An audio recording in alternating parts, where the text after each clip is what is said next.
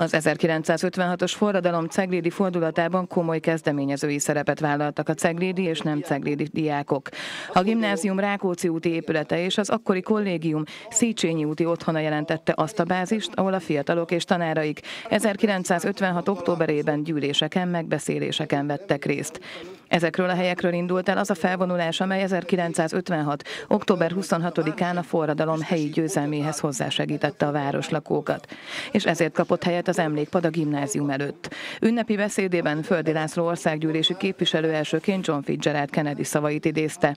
1956. október 23-a örökké élni fog a szabad emberek és nemzetek emlékezetében. E nap a bátorság, az öntudat és a győzelem napja volt.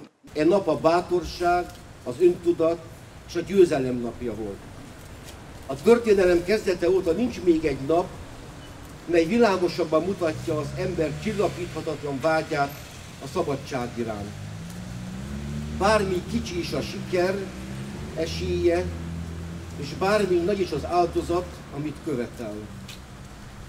Tisztelt emlékezők,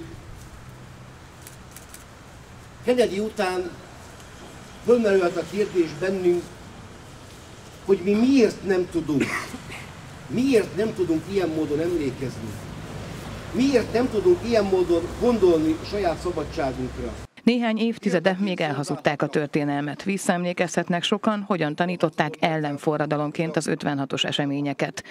Nagyon sokan úgy nőttek fel, hogy nem sokat hallottak 1956 valós tartalmáról, valós történelméről. Ahhoz a szülőknek kellett otthon hozzátenni, de ők is félvetették. Emlékeznünk kell azokra a napokra és büszkének lenni.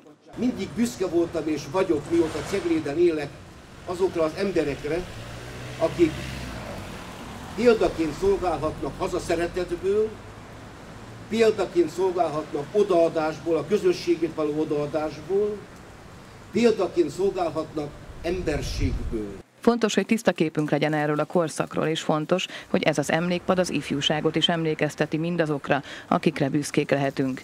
Ezért is fontos, hogy elkészületett ez az emlékpad, hangsúlyozták az avatáson.